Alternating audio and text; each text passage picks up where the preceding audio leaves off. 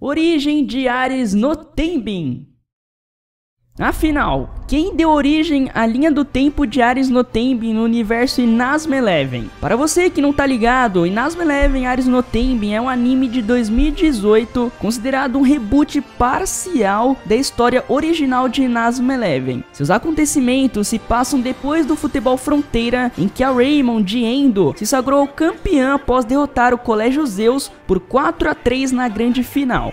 Após o episódio 26 do anime clássico, temos agora duas linhas do tempo. A do anime clássico, considerada a original, abordando a luta do Colégio Raymond contra o misterioso Instituto Eilia, e a de Ares Notenben, considerada secundária, onde a ameaça do Instituto Eilia nunca existiu, e os jogadores do país se preparam para o próximo torneio Futebol Fronteira, visando fortalecer o futebol japonês e equipará-lo ao nível mundial. Dessa forma, podemos levantar a questão: o que fez com que duas linhas do tempo fossem criadas no universo de Inazuma Eleven exatamente no episódio 27 do anime? Dois elementos tiveram um papel importante nisso tudo: o meteorito Eiria e Kira Hiroto. Vamos levantar hipóteses um pouco absurdas que cercam o meteorito Eiria, a poderosa pedra que caiu na Terra 5 anos antes do anime e foi usada por Kira Seijiro para dar forças sobre-humanas aos jogadores do futuro Instituto Eiria. Na linha do tempo que deu origem a Ares Notenbin, o meteorito Eiria pode nunca ter caído na Terra. Isso pode ter ocorrido de forma natural algum desvio de natureza cósmica ou de forma interventiva humana, pela JAXA ou NASA, agências espaciais japonesa e norte-americana respectivamente, que podem de alguma forma ter neutralizado o perigoso meteorito antes de entrar em órbita terrestre.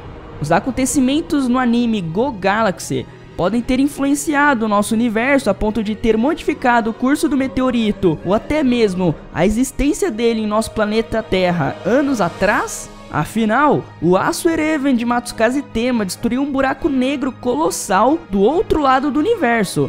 Ou seja, a linha do tempo de Ares Notenben pode sim ser fruto dos acontecimentos cósmicos vindos da intervenção humana dos jogadores japoneses em Nazuma Eleven Go Galaxy, criando um universo onde o meteorito Eiria nunca existiu por aqui.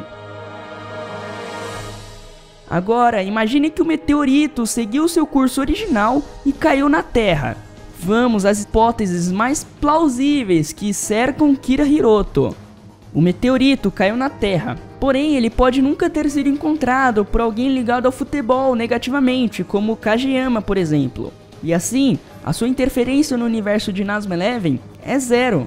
Kira Seijiro, já que não perdeu seu filho Kira Hiroto de forma trágica, ao contrário do que acontece na linha do tempo clássica, não tem o porquê ele se enfurecer e querer se vingar dos responsáveis pela morte do filho promissor, mesmo se encontrasse o meteorito como aconteceu originalmente, e assim desencadeando uma série de mudanças na linha do tempo original, tais como a não criação do Instituto Eiria, Kiyama agora recebe o sobrenome Tatsuya, o desenvolvimento natural e surpreendente de Kira Hiroto, o regresso inédito do time da Raymond ao seu colégio após o título nacional e todos os acontecimentos a partir daí. Sendo assim, concluímos que o principal elemento fundamental para a origem da linha do tempo de Ares no Tenben é a presença de Kira Hiroto entre os vivos. Isso pode ter acontecido devido a uma pequena mudança na linha do tempo, como ter ficado em casa no dia do acidente ou ter mudado o percurso que faria naquele dia, evitando assim o seu acidente fatal e criando a linha do tempo de Ares no Tenben. Mas agora, quem fez essa pequena mudança? Será que foi o Fei? Algum outro personagem viajante do tempo do Inazuma Eleven?